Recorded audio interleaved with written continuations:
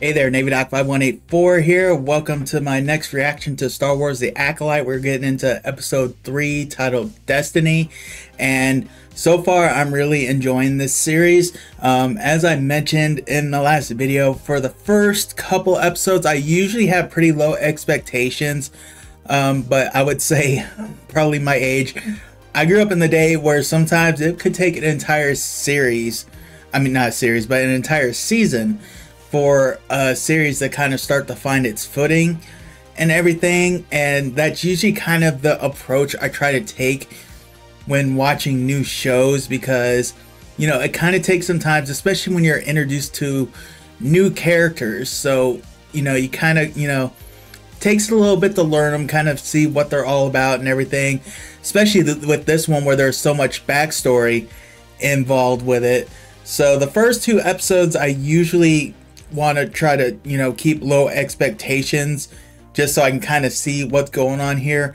I like the fact that they're actually raising a lot of questions that I suspect are going to start getting answered in episode 3 and I do expect things to kind of start to pick up especially since that there is only 8 episodes in this.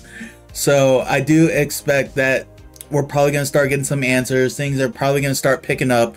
I'm definitely very curious to see uh, what happens between um, Osha and Mae now that they both know that they're still alive and clearly on opposite sides of the playing field. So very interested to see how that goes. I really want to know what happened on, um, you know, their home planet that made Mae want to kill the, these four particular Jedi so badly. Uh, I hope that's something that we get into.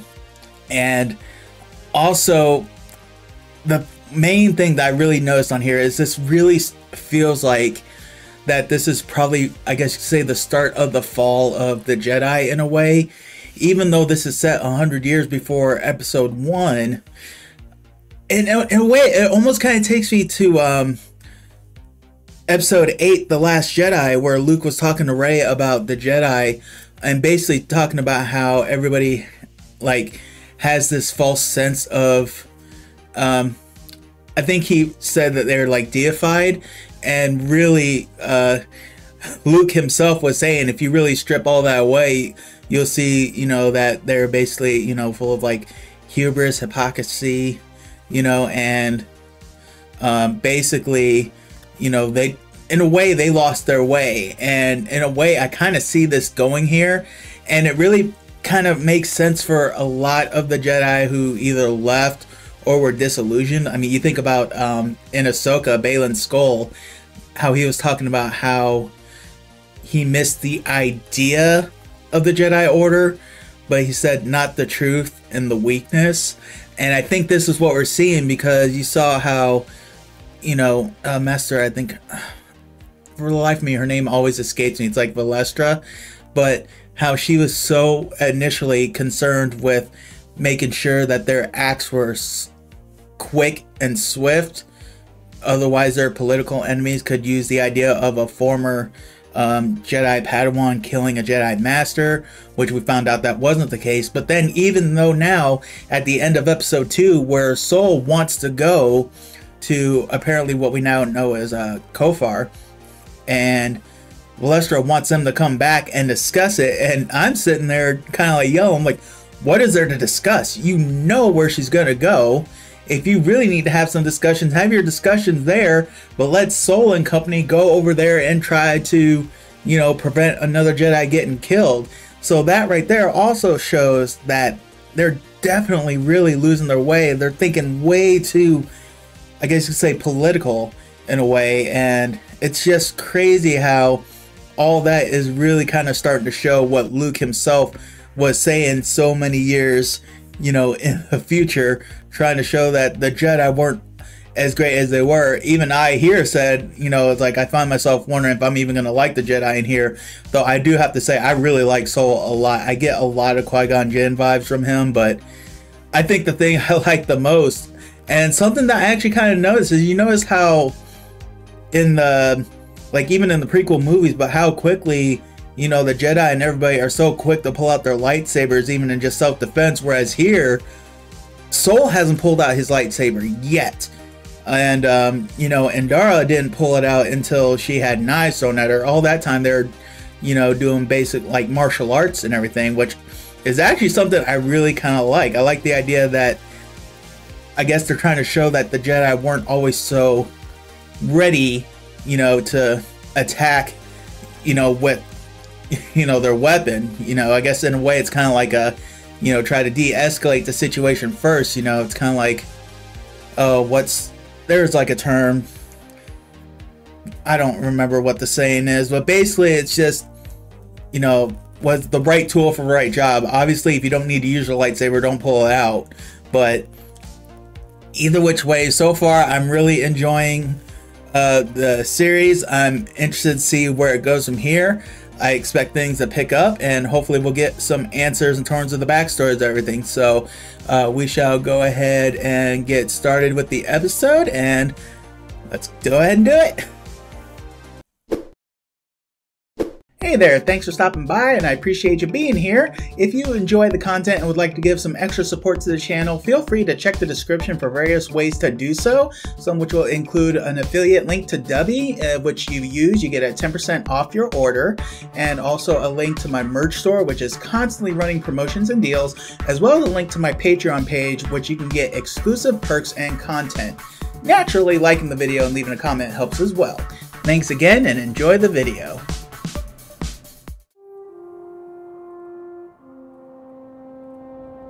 Oh, looks like we're gonna get some answers here already. Okay. The bunta tree's so beautiful.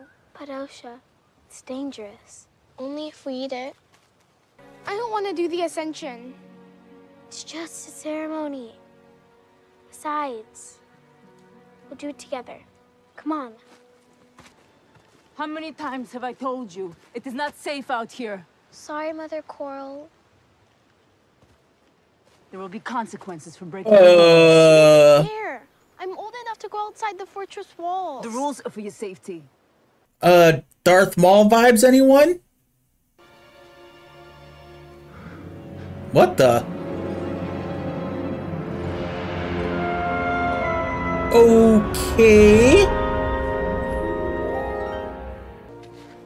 My sweet girls must have sweet treats. Don't you think so, Koril? Okay, so what's the dynamic here? Meet me in the common room for your training session.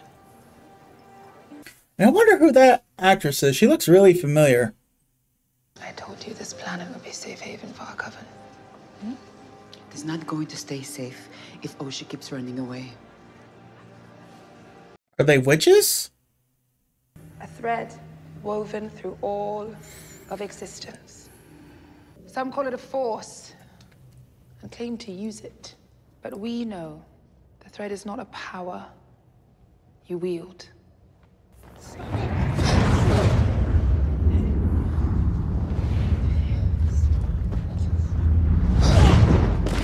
They're the twins in the back just push each other. Pay attention. Stop distracting me. Girls, Let go of me. You let go of me. your enemies will not warn you before they attack. Wow.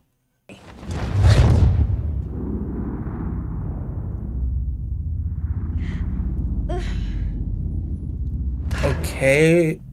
What is going on? Excellent, Mae. Okay, so why did Mae defend, but Osha did not?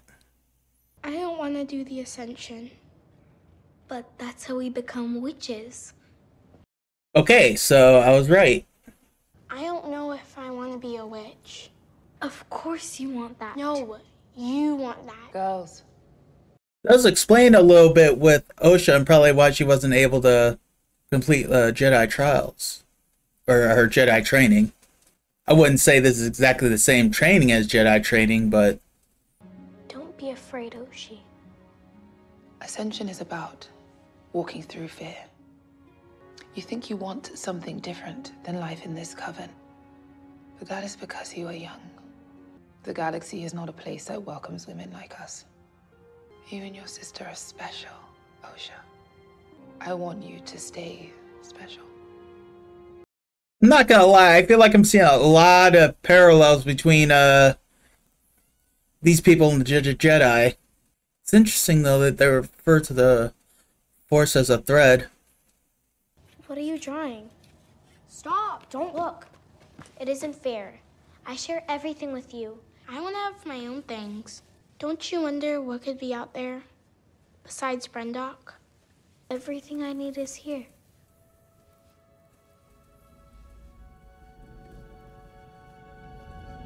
We were hunted, persecuted, forced into hiding, all because some would consider our power dark, unnatural. I could be tripping. I'm getting some serious Sith vibes with this, even though they all talk about being witches and everything. But just the one word, unnatural. Palpatine liked to use that word quite a bit. Do you vow upon my death, to continue our legacy? I do. Alright, so what about Osha? Okay. Osha does not look invested in this. You can tell her heart is not in this. Do you vow upon my death to protect the secrets of our coven and continue our legacy? I do. What the? They've sliced the platform. Eh? They will be here any moment. I am Master Indara, and these are my colleagues, Sol, Kelnacca, and my Padawan Torbin. I am Aniseya, Okay. mother of this coven. We are concerned that you are training children. There are no children here. Kanaka knows. Kanaka senses them. They want to take our children! Jedi do not take children. Hold your tongue or I cut it out for you! Don't do it. No.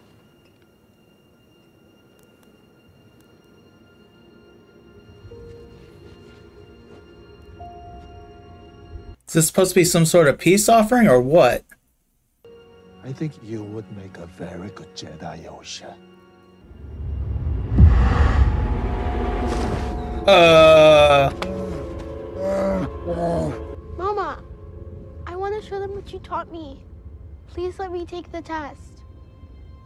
Mother Aniseya, you cannot deny that Jedi have the right to test potential Padawans. With your permission, of course.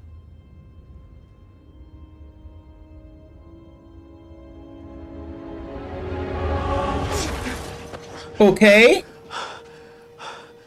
Alright, I'm a little confused here. Republic laws prevent them from training children. Now they're trying to take them to test them to see if they can be trained. What's going on? That doesn't make sense. Osha wants to do it. I did not bring the girls into this world so we could lose them to a bunch of deranged monks. It is not your decision. It is mine. I carried them.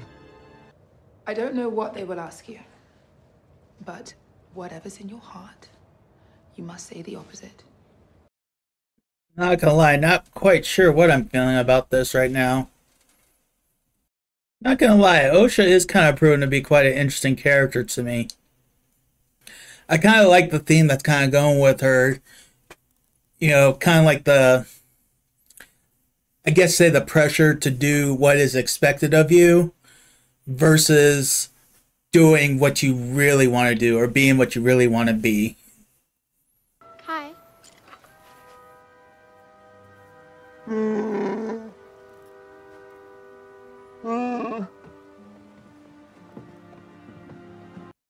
Does she know how to speak Wookiee? Do all Jedi's get one of those? After much training, yes. What are you doing? I was just taking a blood sample. Well, we know what that sample is for. This looks familiar. A spaceship. Correct. How about this next one? Hey, no. They're tricking A her. mountain. Correct. That wasn't a ma- Gotcha. Did someone tell you to fail this test? Your family doesn't want to be separated from you. What do you want, Osha? Is this how is this how everything went down? I want to be a Jedi. Then you must have the courage to tell the truth. We should continue the test. This is where it all goes downhill, and probably why Mae wants those four dead.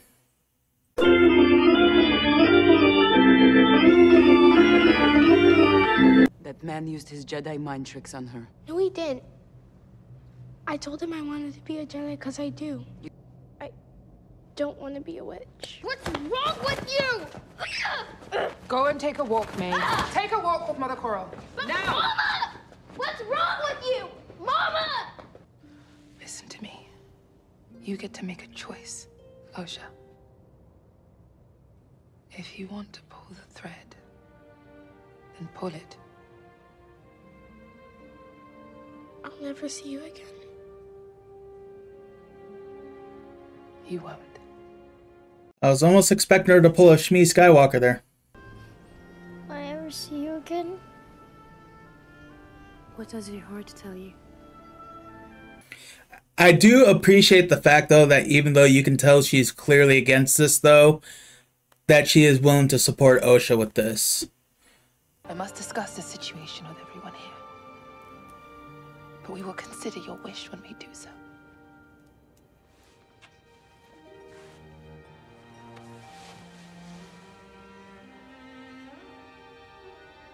I love you, Mama. I love you. Now go. It does kind of pull on a very interesting dynamic, one that I'll have to touch on later if I remember to do so. I won't let you leave. It's not up to you. You can't stop me. Yes, I can. How? I'll kill you. Hey, give it back! What?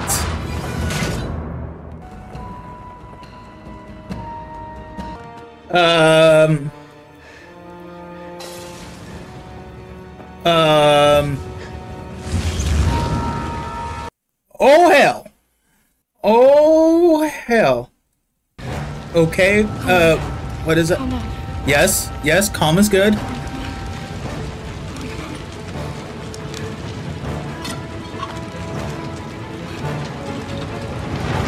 It's already got great mechanical skills for her age. That fire is spreading really quick. So that's why Mae thought Osha was dead.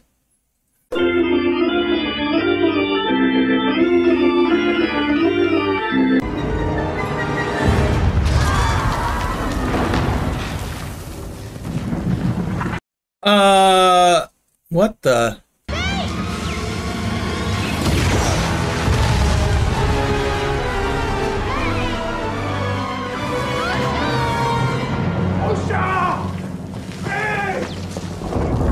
Where's Mama? Mama's dead. Whoa!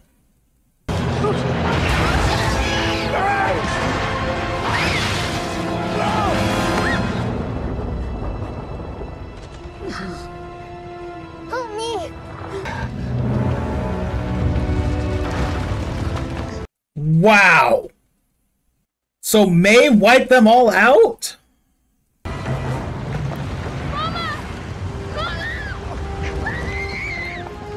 You can't. You. There is no saving her, Osha. You gotta go. Okay, so earlier when they're talking about how they saw Mae fall, that's what they're talking about. Wow, so Mae was the one who did all that. All because she didn't want Osha to become a Jedi. Wow. So I'm guessing she blamed the four Jedi for taking Osha away. Even though it was clear long before Osha wanted to go, but I still want to know who it was who found Mae and trained her. What happened? Mae started a fire. We have to go back. No, we can't. We must. You'll be safe on Coruscant. And if you wish, you'll train as my Padawan. You're going to be okay, Osha. You will never feel like this again.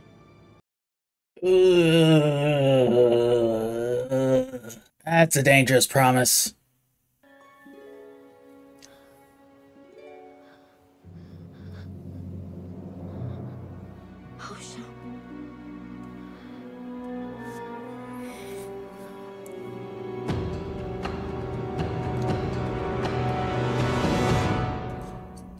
So she somehow survived the fall. Wow. Wow. Okay.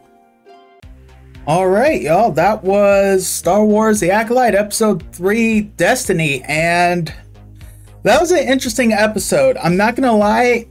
For the first bit of it, I wasn't really feeling it. But then as it kind of went along, uh, pardon the pun, but it felt like some threads were coming together. Um, the whole thing with the witches at first kind of got me. I mean, it's clear they have a strong mistrust of the Jedi. I would love some backstory on that. And at first, that was one of those things where I was just like, in my head, I was just like, "Uh, I don't know.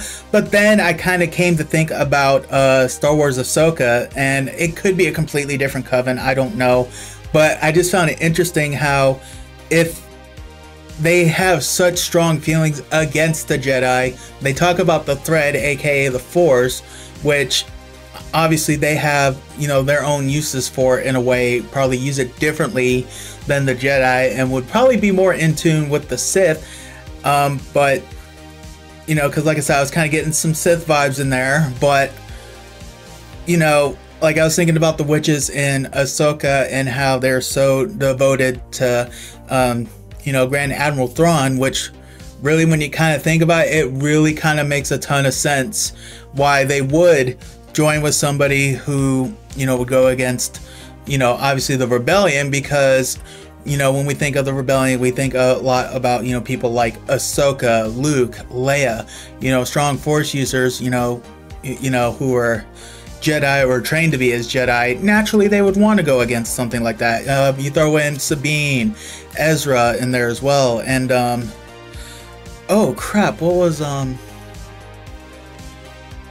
wow, his name just completely left me. Uh, he, I know he was on Rebels. He was the father of Jacen, but we know he was a Jedi. Um, you know, Ezra's master. Good lord.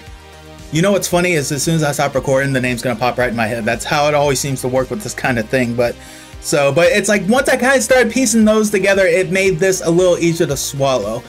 Um, I'm still really want to know who it was who found Mae because that's going to answer another really big question. Because obviously Mae has a lot of hate for these four particular Jedi. Now they're the ones that were there, but I think about what Mae said when she uh, met with Indara. When Indara said that you know they don't pull their weapons, you know, against the unarmed, and Mae very defiantly said, "Yes, you do." And I'm looking at that, and the only time any of the Jedi pulled their weapons out was to hand it to Osha. It was not in an attack or anything like that.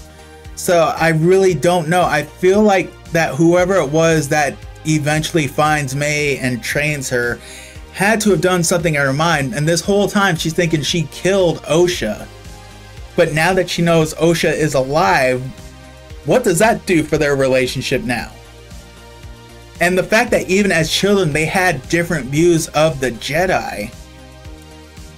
Now, I will say this like I said, at the very beginning of this, I really, really was not really feeling the episode, but then it's kind of like once I started putting some of the threads together, again, sorry for the pun, but you know, started putting things together a little bit and kind of trying to put, you know, pieces in place.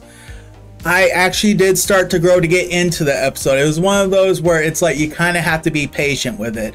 Um, I will say it was a little less I should say action packed than I thought, but I actually kind of appreciated the fact that they actually dedicated a whole episode to what happened on Brendok.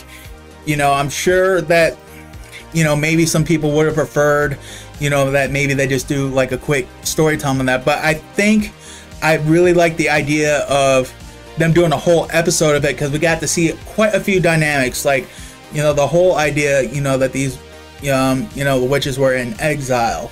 You know, they came there for safety and they basically were just really dependent on each other. And almost like Luke in A New Hope, where he sought for something more, Osha was seeking for something more. But then you got Mae, who was the type where it's just like, no, this is where our life is. This is where we must, you know, plant ourselves. You know, so you had the butting of the heads that early on.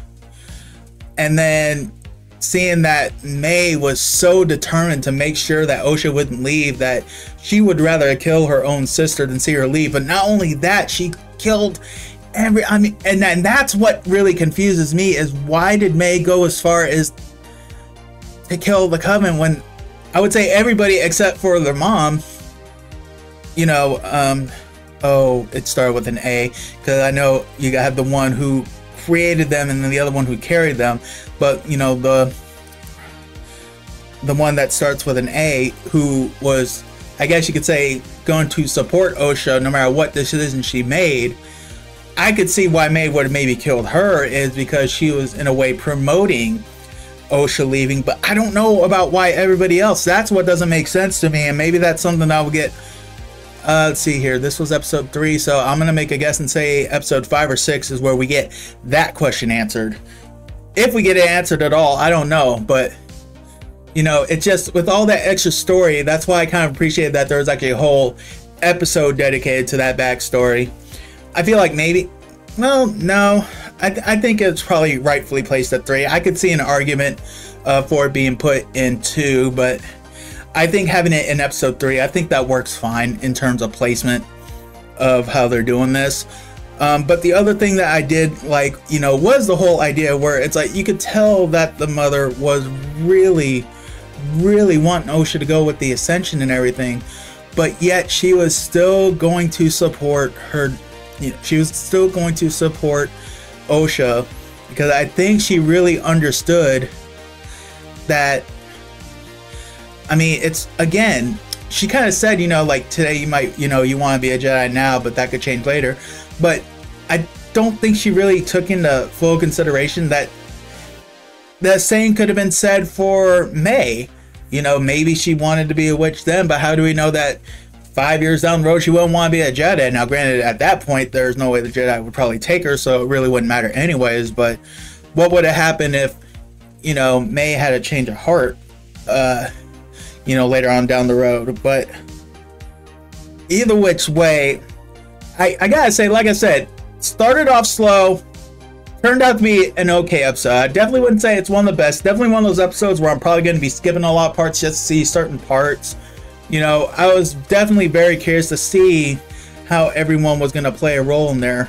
You know, and uh, Torbin, you know, in episode two, when he was talking about how they thought they were doing the right thing, I think that kind of goes by something where I am still kind of really confused about and really would like to find some explanation on is how they're talking about how it's against Republic law to train children, and yet they're going to take children trying to become Jedi. I'm like, what's the difference? But and I think that's part of the maybe that's the hubris part of the Jedi where they feel they're the only ones who use the Force the right way. Whereas I think the Coven had kind of like an idea where it's not just a power to yield, but I think Sol in in the first episode kind of hit it how the Force is a power that must be respected. And I feel like the Jedi as a whole lost sight of that. And you kind of even got that in um in the last Jedi episode 8 when um Luke was asking Rey about the Force. You know, and you know, Luke had to kind of tell her that it's not you know, for one side or the other.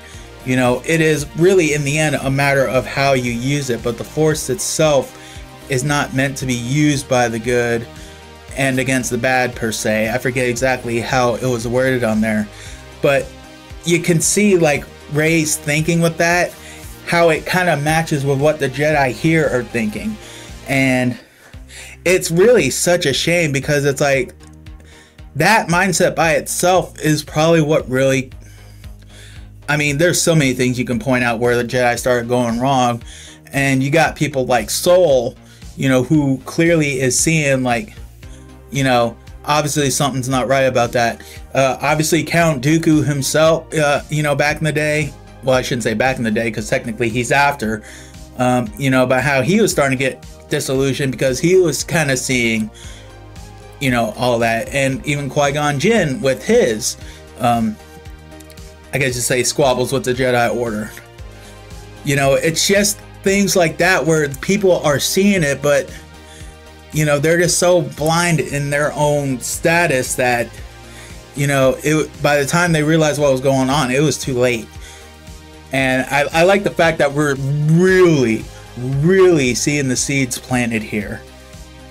Because, like I said, early on, you can tell, and it's just like having that go on for 100 years, you know that it only gets worse.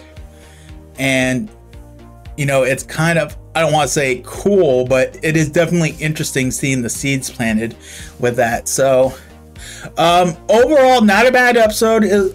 A pretty solid episode. Uh, definitely has me, uh, you know, ready to see where this story goes and seeing how the rest of this um, story goes. Uh, once again, who was it that found Mae? Who is it that's training her? Uh, was it somebody else on the planet that you know we just didn't see here? But either which way, I think I'm just gonna leave it there. For thank you guys for uh, stopping by. Feel free to check out some of my other Star Wars reactions over there, and uh, I will catch y'all down the road.